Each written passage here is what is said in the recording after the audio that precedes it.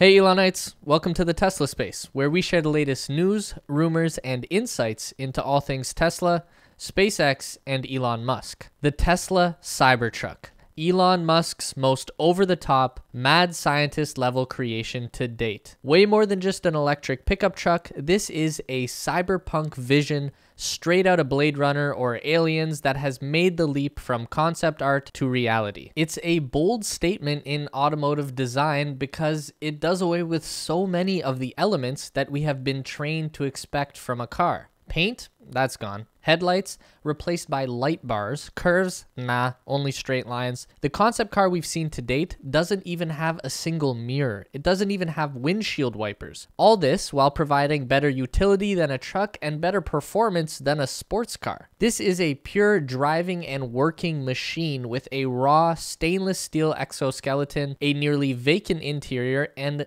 zero to give. Calling it a polarizing design would be an understatement. And of course, that's exactly what Tesla was hoping for when they unveiled this machine a year ago. But what has changed in that year? What's going on with the Cybertruck, and when the hell are we going to start seeing these things tearing up the roads and the off roads? Let's talk about it. Has the design changed? The biggest question hanging over the Cybertruck is whether the concept design will make it to production without being dumbed down and compromised because, well, there are a few external factors that are working against the Cybertruck and might prove to be insurmountable obstacles. Like I just said, the truck has no mirrors or windshield wipers. The mirror thing wouldn't be an issue in Europe or other parts of the world where they've said it's okay to replace side view mirrors with cameras, but in the USA, the target market for Cybertruck, the mirrors are still the law. Maybe Tesla is betting on the regulation being changed before production begins, but so far there has been no progress. And once you start imagining what the truck would look like if it did have those mirrors, then a bit of that futuristic vision starts to fade. As for the windshield wipers, I'll be honest, I don't know about this one.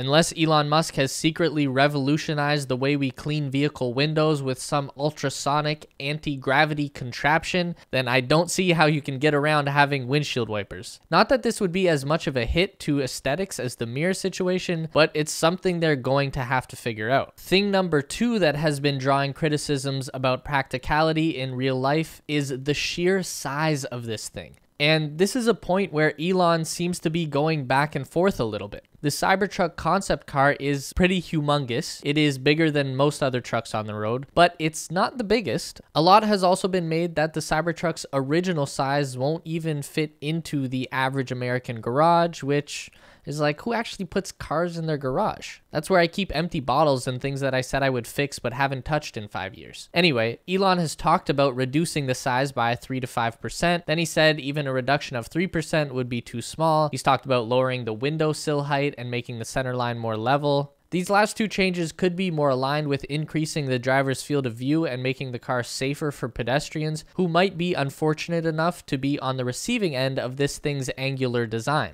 When Cybertruck first debuted, a lot of groups came out saying this was a menace to society and that it would pretty much decapitate any person it ran into. And yeah, I'll admit that this is probably one of the last cars you would want to get hit by, but it only ranks slightly above literally every other pickup truck and SUV on my list. Getting hit by a truck is going to be a very bad day no matter who made it.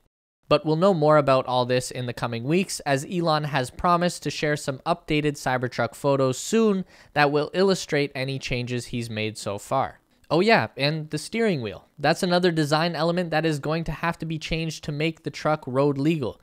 The rectangular shape with two handles is not okay for production cars anywhere in the world. The steering wheel needs to be a continuous loop. This one I can easily live with. The concept wheel is neat and all, but I can imagine it being a real pain in the ass for real world driving, especially in parking lots. No big deal there. What can be made better? While we do not want to see the design of this truck changed in any significant amount away from the existing concept, we are absolutely down to see some new changes and updates that would make the Cybertruck more functional. One of the coolest ideas that has been floated and Elon has acknowledged would be the fold down back wall in the cabin. The idea here would be that the rear window would lower down into the wall then both the rear seats and wall would fold flat to be level with the truck bed. This adjustment would open up storage capacity from the back of the driver's seat all the way to the tailgate, significantly more room than 8 feet that the current design allows for. It's a similar design to what the Chevrolet Avalanche could do, though they haven't made those in a long time and it never caught on with other Chevy trucks. We know Elon is thinking about it, so here's hoping that one comes through. Another speculated change or available add on to the rear of the truck would be a solar panel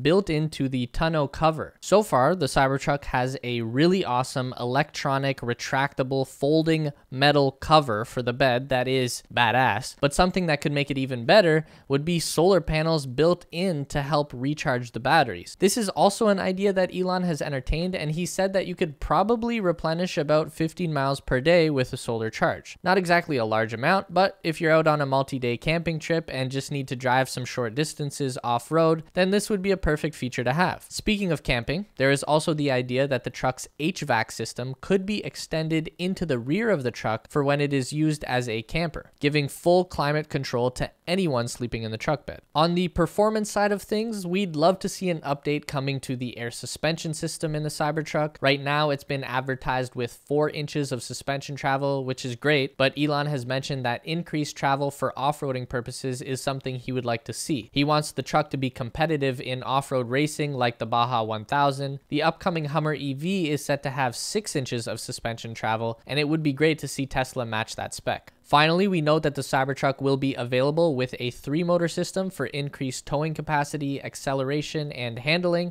But what if there were four motors? The soon to be released Rivian R1T electric truck is coming with a four motor option, giving each wheel its own electric motor and allowing the Rivian to pull off a tank turn, where it's able to spin around 360 degrees on the spot. I don't know how often that would actually be useful, but it's pretty cool. And it's something that Tesla will have to consider if they don't want to be outperformed by their competition. Being one year out from the first announcement of this truck, how close are we to seeing it becoming a reality? Well, pretty close, probably. It's a bit complicated as the whole virus thing has been a major setback to pretty much every industry on the planet, including Tesla. So the original goal of early 2021 availability absolutely will not be happening. But there is a light at the end of the tunnel and it's not that far off. We know that Elon is making the Cybertruck a priority. It's probably second only to the Model Y which is continuing to sell great and make the company a lot of money. Enough money to get their Texas Gigafactory up and running,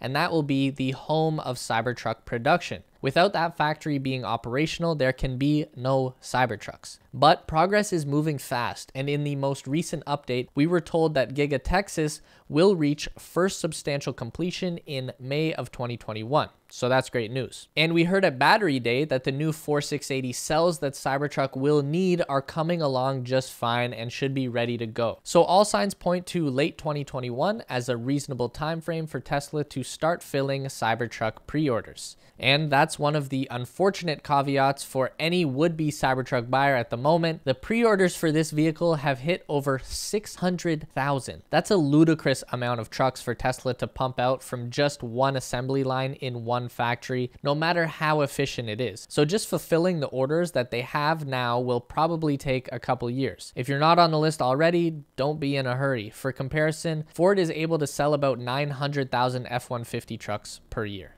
When we do start seeing the Cybertruck in real life, it will be in three option packages. The base model is a single engine, rear wheel drive machine that starts at just 40,000 and gives you a towing capacity of 7,500 pounds, range of 250 miles, and acceleration of 0 to 60 in 6.5 seconds. For a pickup truck, it's very competitively priced, and for a Tesla, it's their second cheapest car behind the Model 3 standard. Of course, if you want to have some real fun, the Cybertruck abides, with a dual motor, all wheel drive version that ups your towing capacity to 10,000 pounds, your range to 300 miles, and gets you up to the speed limit in just 4.5 seconds. That'll also bump your price up to 50 grand. Finally, if you want to get nuts, the Cybertruck can get nuts. The three motor all wheel drive variation lets you tow 14,000 pounds. That's enough to carry two adult hippopotamuses or one big elephant, if you were wondering. Also, the tri motor setup gets a very impressive 500 miles of range and a smoking fast 0 to 60 of just